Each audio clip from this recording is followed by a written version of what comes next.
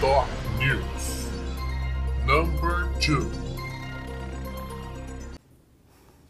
Brasil, já houve países em que grandes revoluções começaram quando a polícia começou a impedir que as pessoas famintas fizessem o trabalho que supre a emergência imediata de pôr o pão na mesa, que é catar qualquer coisa para vender na porta de casa. É, e isso acontece aqui no Brasil. A gente vê políticos que fizeram fortunas nababescas e não são punidos de forma adequada, porque pode dar desculpa que quiser. De onde que essa galera tira dinheiro para comer o que come, vestir o que veste e viajar para onde viaja? Não pode explicar com o documento XYZ, porque chover dinheiro não chove, essa galera não tem como explicar. Enquanto isso, quem está passando fome, não está conseguindo viver de maneira digna, vai botar lá uma barraquinha para vender fruta na porta de casa e o Estado age com mão pesada, como se estivesse lidando com um bandido. Por muito tempo o Brasil aceitou isso. Só que isso está começando a mudar. Que abram os olhos as autoridades. Isso é história. Pode pesquisar. Tem país que começou a revolução civil desse jeito. Senhores governantes, senhores abram os olhos, porque nessa bolha em que os senhores vivem, isso não existe. Nem estudar, porque chegou todo mundo aí pela mão de papai e mamãe, que levou muito bonitinho a vossas incompetências até os lugares de ouro, até os lugares de ouro onde estão. Não, isso boa parte do empresariado brasileiro, que é de uma ignorância, vamos dizer, invejável, né? Uma coisa que merece Oscar.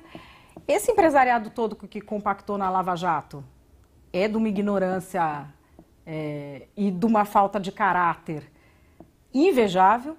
É, os políticos nossos são de uma base cultural e moral que dispensa comentários. Eu não sei nem se já foi feita uma palavra que classifique isso. Nem, acho que nem alemão tem, né? Que alemão tem palavra até para canário amarelo da pena empinada na parte esquerda da cabeça. Tem uma palavra.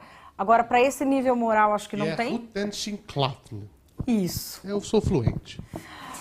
Mas agora, o brasileiro não suporta mais ver a diferença de tratamento entre o andar dos que tudo podem e o andar desse gado que tem que amargar o destino de ser pisoteado. Nós. Esse exemplo eu achei demais. Foram tirar a barraquinha do cara, também em Minas Gerais. Cara que tá lá só tentando sobreviver. Vocês sabem o que, que o povo fez?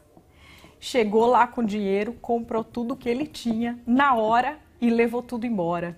E o cara tá aí chorando de emoção da solidariedade que ele não esperava.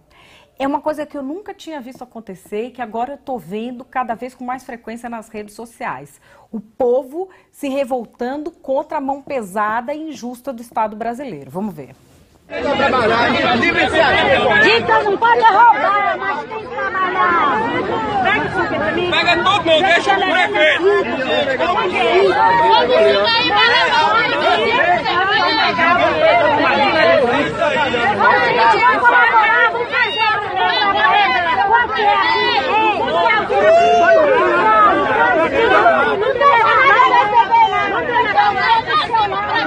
Não Tá aí. Compraram tudo o que ele tinha para vender e ele ali emocionado com a solidariedade do cidadão brasileiro que entende o que ele está passando e entende como é injusto, hipócrita e injustificável que o Estado que está tomando do pequeno para beneficiar de forma espúria o grande que não é preso e que não devolve o que rouba, tente punir o pequeno desse jeito. Tem que abrir os olhos os nossos governantes, porque o exagero leva à queda. Estão puxando a corda demais, estão esticando a corda demais.